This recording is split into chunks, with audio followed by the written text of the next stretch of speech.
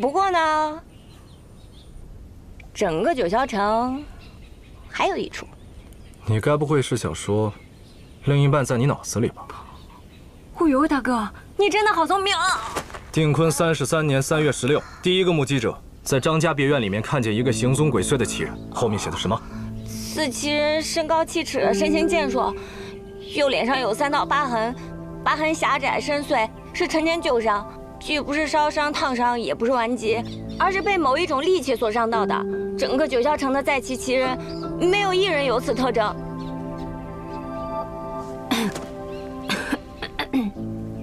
金人大哥，你看我是不是真的很有用？而且我不仅会被卷宗，我还可以帮你办一个真的通关文牒。最最最重要的是，我可以帮助你一起一起抓住那个三到八的奇人。你打算怎么找到那个三到八的奇人？一口咬掉佳人冠，抛在月下鬼门关。那个鬼门关你知道的哈，就是在那个，哎，那个哪来着？哎，就就在嘴边。小，想套话是吧？我可比你擅长多了。还有，你要是有线索的话，早就去守着了，干嘛花功夫来抓我呀？抓我这个奇人，跟抓那个凶手奇人，难度不是一样的吗？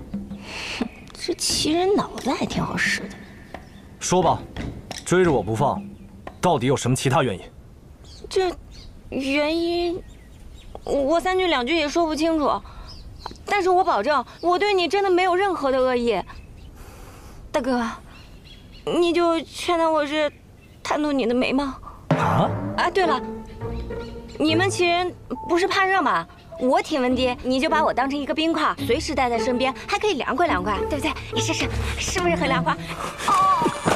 哦，污言秽语，我可不想再听一次了。事不过三，我警告你啊，别再让我看见你。如果再让我看见你，我保证，你没机会有命再说第四次了。啊，我我我不行了。